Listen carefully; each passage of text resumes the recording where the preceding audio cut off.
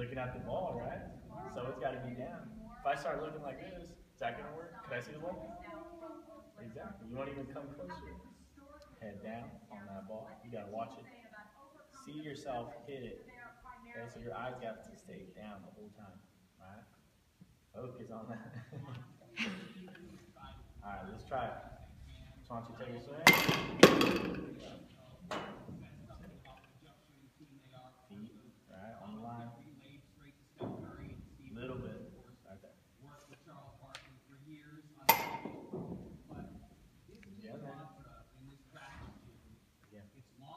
shooting an elite defense.